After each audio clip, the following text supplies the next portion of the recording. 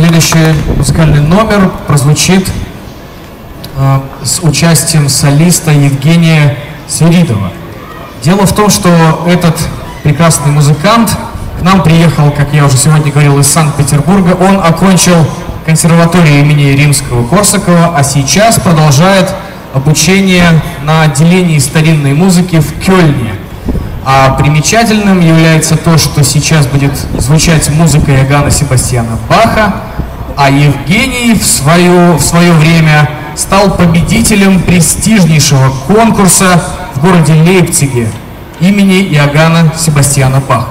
И для вас прозвучит концерт Иоганна Себастьяна Баха «Ми-мажор» в трех частях. Исполняют камерные солисты Минска, дирижер Дмитрий Зубов, солист Евгений Свиридов.